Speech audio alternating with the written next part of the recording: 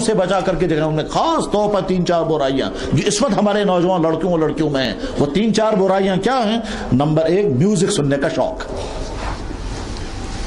और ऐसी बेवकूफ़ी की हरकतें होती हैं कि साहब कानों में म्यूज़िक सुनने के लिए लीड लगा रखी है और सामने किताब में स्टडी हो रही है। आप सोचें, जो आदमी उधर से कानों से म्यूज़िक सुन रहा है और इधर से तैयारी कर रहा है, इम्तिहान की क्या पढ़ाई कर सकेगा ये? कह लगे, नहीं साहब, मैं साथ साथ में मज़ा भी उठाता रहूँगा, कि साहब म्यूज़िक सुनता रहूँगा और साथ में सुबह उठता है कहने लगे, जी, सारी रात मैंने पढ़ा, याद कुछ भी नहीं रहा। वो याद कैसे रहेगा आपको? आप तो म्यूज़िक सुनते रहे हैं। गरज ये कि म्यूज़िक सुनना, ये सख्तरीन जुर्म है और इसकी वजह से ईमान कमज़ोर हो जाता है, बल्कि बाद का ईमान खत्म हो जाता है। म्यूज़िक सुन, ईमान कैसे खत्म होता है? एक लड़के ने पूछा कि जी, इस्लामिक म्यूज़िक सुनना जायज़ है? तो मैंने कहा, म्यूज़िक जो भी होता है वो हराम है, वो इस्लामिक नहीं हुआ करता। ये ऐसे ही है जैसे कोई पूछेगा, इस्लामिक शराब पीना जायज़ है? तो शराब तो सारी शराब है, वो इस्लामिक शराब कैसे हो सकती है? क्या लगा, जी, इस्लामिक म्यूज़िक। म्यूज़िक जो भी होता है वो इस्लाम क्या लगा, उस इस्लाम को हम नहीं मानते जिसमें म्यूज़िक हराम हो। तो गया, ईमान चला गया इसका। ये कहता है, उस इस्लाम को हम नहीं मानते, जिस इस्लाम में म्यूज़िक को हराम कर दिया गया। तो मैंने कहा तो आपका ईमान चला गया। क्या लगा, मेरा ईमान है।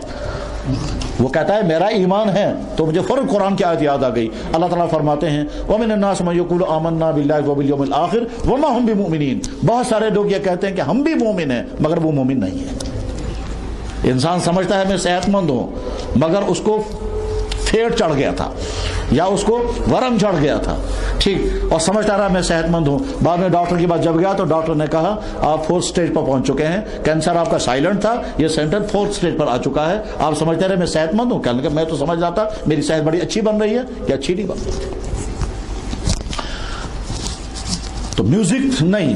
म्यूज़िक सुनने से अपने आप को बचा। ये सिर्फ़ वक्त को बर्बाद करना है और इंसान के जहन में म्यूज़िक की वजह से वही ख्याल बैठते हैं और वही वर्ड्स वही वर्ड्स दिमाग में हर वक्त घूमते रहेंगे। और उसमें फिर इंसान इसी तलाश में रहता है, और कोई नया म्यूज़िक और कोई नया ट्यून और ढूंढते रहेंगे फिर दुनिया में कहा। आपका काम तो इस वक्त म्यूज़िक सुनकर अपने वक्त बर्बाद करना नहीं है।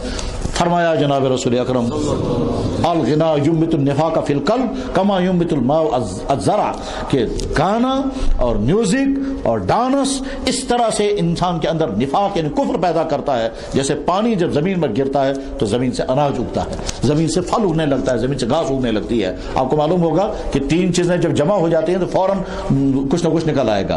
दाना, पानी और मिट्टी, ये तीन चीज़ें जब जमा हो जाती हैं तो उसमें से कुछ ना कुछ ज़रूर पैदा हो जाएगा। ऐसा नहीं हो सकता कि दाना ज़मीन पर आ जाए, मिट्टी भी हो और पानी भी का कतरा भी आ जाए, और उसमें कुछ नहीं उगेगा, ज़रूर उगेगा ये अल्लाह ने सिस्टम बनाया है। और ये सिस्टम अल्लाह का बनाया हुआ है, और ठीक इसी तरह से जैसे पानी, दाना